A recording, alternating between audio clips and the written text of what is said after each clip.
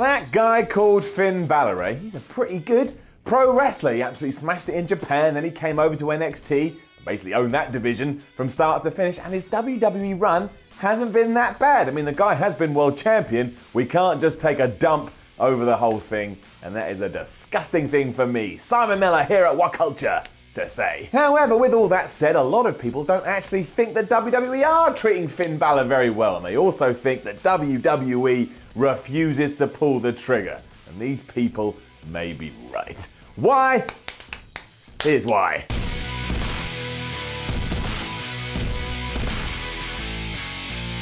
Let's get right into the thick of it and focus on the problem, the very aspect where these individuals started to get mad to begin with. The rumor was for a long, long time at the Royal Rumble this year, in 2018, the year of, I don't know, fish. I don't know if that's right or not, just came out of my mouth. But in this year, at the Royal Rumble, it would indeed be Finn Balor taking on the beast Brock Lesnar. And that didn't happen, and instead we got Lesnar versus a couple of monsters, and that was all right, but it's not what a lot of wrestling fans wanted to see. Leading up to this moment as well, well, things were pretty bad too. Because Kane, he came back and he just whipped Balor's ass, and Balor never even got to exact his revenge, even though this all started happening just 24 hours after Finn Balor had beaten AJ Styles at the TLC pay per view. So, really, none of it made any sense. It was like a Rubik's Cube if you're colorblind. Now, none of us know the exact reason why this happened, and the fallout from it all did see Finn Balor re team up with Gallows and Anderson to form the Balor Club. That's actually quite a nice balance. However, then a leaked WrestleMania card came out, and guess whose name was completely absent from that list? You've guessed it, it's Repo Man. No, it's not. It's Finn Balor. And once more, the internet world got mad because they're like, Are you telling me that Finn Balor isn't even pegged for some kind of good match at this year's WrestleMania? What kind of universe are we living in? So, what is the deal? Because at one point, Balor was definitely destined for big things. I mean, he did away with Roman Reigns and Seth Rollins on his journey to become the first ever Universal Champion. However, then he got injured and maybe that's where the problems did indeed start. Now, WWE clearly had a thing for Balor at one point, especially when we go back to his NXT days. He was imperative and he was important, and he was the face that ran that place for ages. Without him, that era of NXT simply wouldn't have been as good. And he carried that momentum onto the main roster, but yes, then he did get injured, and that's where everything changed. I mean, let's face it, the main thing he's kind of done ever since he came back was that awful feud with Bray Wyatt when Bray Wyatt dressed up like a woman a low light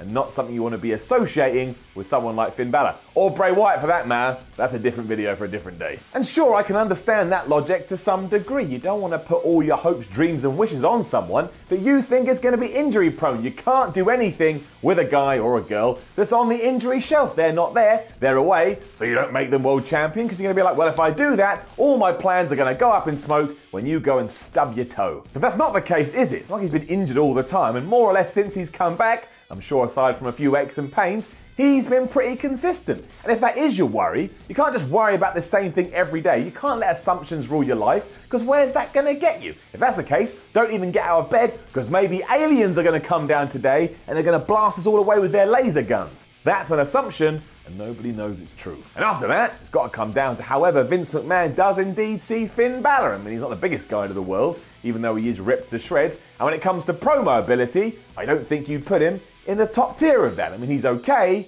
but he's not great. But if we're just going to tick the same boxes over and over again, once again, what is the point? Why don't we look at Finn Balor, take all his upsides, and try and make them work even more than they are working? Because let's face it, he's a babyface that people actually like. And as I've said a thousand times on my What Culture video, a babyface that people actually like is such a novelty in 2018. We should grab these people and just shake them around until they are the life and soul of the whole company. I mean, how nice was it to see Shinsuke Nakamura win the Royal Rumble? It was lovely. It wasn't some guy that the fans rolled their eyes at like, oh, not this dude. It was like, sweet, Nakamura won, and they felt good, and I felt good, and Nakamura felt good. That's what wrestling's meant to do. And Finn Balor fits into that category as well. For me, sometimes, I kind of feel like I relate to him a bit. He just feels like a fan that busted his ass, used the talent he had to get to the top, and now he's on the biggest stage of them all. It makes me want to root for him, and it makes me want to see him win. But that's not what happens. And if somebody was to come up to me in the street and put a gun to my head and say, listen, Simon Miller, you have to give me your true opinion of what you think WWE thinks of Finn Balor,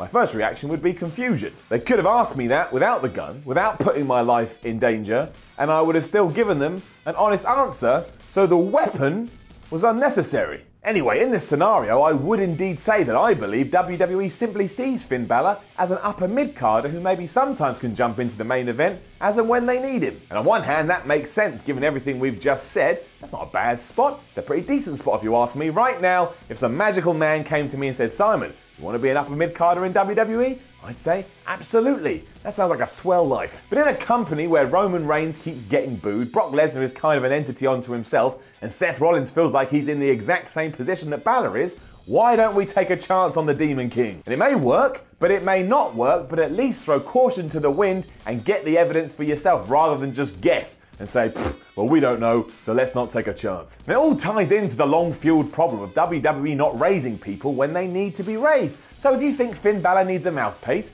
give him a mouthpiece. If you think he needs backup, We've already done that because he's now got Gallows and Anderson. But if you can see a way to get him into the position that you want him to be in, then do it. Don't just allow them to tread water because wrestlers that tread water eventually lose all their momentum. And you know who they become? This is no offense, they become Dolph Ziggler. And I say all this too, and I'm not even the biggest fan of the demon gimmick. I think it's okay, but it doesn't overly excite me, but it damn well sure does overly excite other people. So that's another tool in his arsenal. Don't just use it as a novel thing, turn it into this majestic wonder that people just have to tune in to see. And yeah, I don't think that WWE has used that in the right way up to this point, but as we know, all it ever takes is a few weeks of good storytelling and actually reminding us that it should be deemed as important, and more or less it starts to become important. Well, the exception to that, of course, is dressing Bray Wyatt up in drag.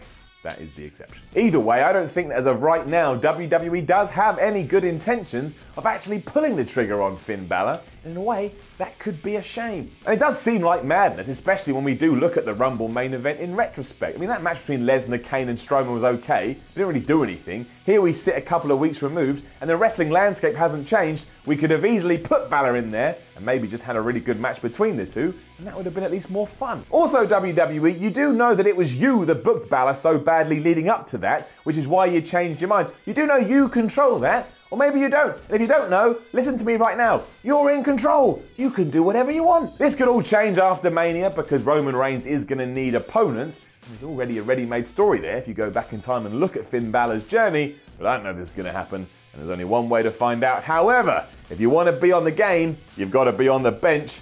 At least Balor right now is there. Now, don't forget to leave a comment below and let us know what you think about Finn Balor. Like, share, and subscribe. Do the Miller jig. Then head over to whatculture.com and read yourself some articles and go on Twitter if you do indeed have a Twitter account and follow What Culture at What Culture WWE. My name is Simon Miller. This was What Culture and this was the Why series. And whatever day you're watching this on, put a smile on your face, walk outside, and just shout at the top of the lungs, I love you, world. Somebody may try to arrest you, give them a hug, give them a kiss, they'll let you go, and I bet all of you have a much better time.